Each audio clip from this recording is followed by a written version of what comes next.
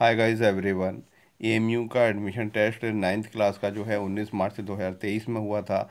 अब एएमयू ने इसकी आंसर की अपलोड कर दी है। आपको अगर आंसर आपके हिसाब से वो चैलेंज लग रहा है तो आप चैलेंज कर सकते हैं। दो दिन का चैलेंजिंग डेट है। उसका मैं आपको डिस्क्रिप्शन में दे दूँगा।